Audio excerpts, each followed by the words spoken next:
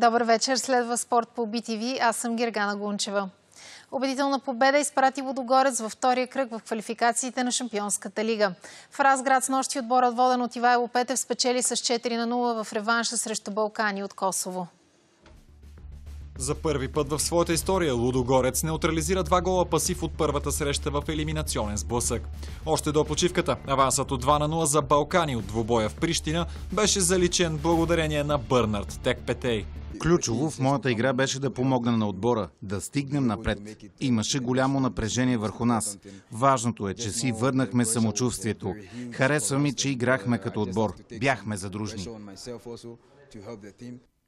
Головете на Матия Стисера и Кайо Видал през второто полувреме осигуриха на Лудогорец класиране във втория предварителен кръг на Шампионската лига. Ивайло Петев елиминира първи отбор в треньорската си кариера в евротурнирите. Първи път в треньорската си кариера постигате успех в елиминация на европейски клубни турнири. Колко такива си пожелате най-малкото за този сезон? Сто. Добре. Къде си го намерил този въпрос? Четири месеца до сега не сме изпадали в, в такава ситуация. Всичко е било по мет и масло, както старите хора казват. И може би трябваше да минем оттам. Да преживеем и негативното, за да може да направим по-голям скок напред. Във втория кръг на Шампионската лига Лудогорец ще се изправи срещу първенеца на Словения Олимпия Любляна. Първият сблъсък е в сряда в Разград. При елиминиране на словенския първенец, орлите ще бъдат непоставени в третия предварителен кръг. Сред потенциалните съперници са добре познатия Динамо Загреб, Копенхаген, Галата Сарай, Карабах, Слован Братислава и Молде. Жребият е в понеделник. Българският футболен съюз отложи шампионатните матчове на ЦСКА и Лодогорец, които трябваше да се играят на 29 юли. Промяната се прави по желание на клубовете и предвид участието им в евротурнирите. Мачовете на другите участници в Европа, Левски и ЦСКА 1948 за сега не са с променени дати. Ръководство на Българският футболен съюз намери съперник за контрола на националния отбор. На 7 септември за матч в Пловдив ще пристигне Иран. Договорката за среща с Австралия пропадна, насрочен е приятелски двубой и с Албания на 17 октомври в Тирана.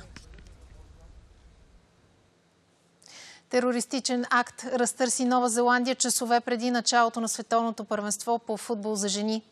Фолкланд, 24 годишен мъж, е открил стрелба с пушка, убил е двама и е ранил петима. Атентаторът е застрелян от органите на реда и познат на властите с агресивни действия в миналото. В близост до мястото е хотелът, в който е настанен националния отбор на Норвегия. Именно състава на Норвегия игра в откриващия матч на световното първенство, в който изненадващо загуби от Нова Зеландия с 0 на 1. В този двубой имаше още един исторически момент в историята на футбола. При отсъждането на Дуспа след преглед на VAR, японската съдийка оповести публично решението си пред 42 000 зрители по трибуните. Такава практика има в американския футбол, но сега за първи път тя се прилага на такъв голям футболен форум.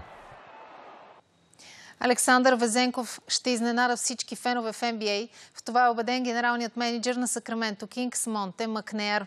Той даде интервю, в което коментира качествата на българина.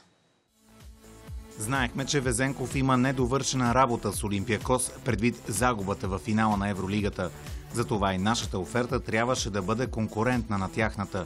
Много хора в Съединените щати не са запознати с европейските баскетболисти, но в миналото имаме доказателства за техните качества. Давам примери с Миротич, Богданович, Биелица. Веднъж, щом стъпят на наша земя, феновете се ентусиазират. Те ще бъдат много изненадани от качествата на Везенков. Нямат представа на какво е способен той. Още новини ще намерите на BTV Спорт във Facebook и Instagram. Сега новините на BTV продължават. Хубава вечер!